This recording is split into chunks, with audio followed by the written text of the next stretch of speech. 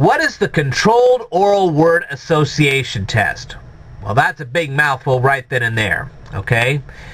The best way to discuss this test is to give you an example of the test. Alright, let's say we have a test administrator. He grabs his dry erase board like thus.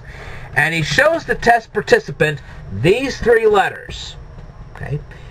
And he says to the test participant, I've got a stopwatch, and as soon as I turn the stopwatch on, you're going to have one minute to tell me every single word that you can think of that starts with the letter F.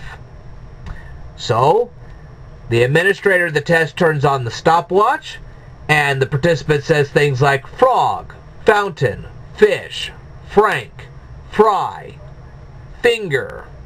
And he goes on and on and on and on until the minute's up. Now, if the guy repeats any of those words, say he says fish at the top and then later on he says fish again, that second fish is deducted. Okay? So, after the minute's up, the administrator of the test tallies up the score. He also deducts for words that don't start with the letter F. Obviously, phonics does not start with the letter F. He deducts those kind of things. All right. Then he goes on. He says, all right, we're going to take the letter A.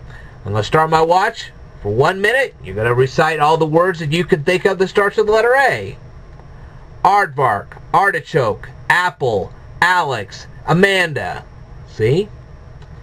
And then after that, he stops the stopwatch, Boom, he tallies that up as well. And he does the same thing with the letter S. And after he tallies up those scores,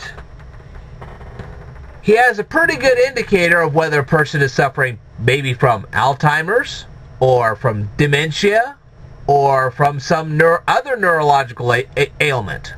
Okay? This is a good way for him to tell whether somebody's suffering neurologically or not.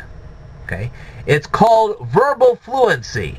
If you can recall those that many words like that, then there's a good chance that you have great communication skills. If you can't, it may mean you have poor communication skills, and there may be some mental impairment causing you to have poor communication skills.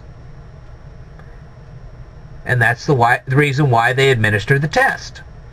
All right. I will tell you more in a future video. Stay tuned.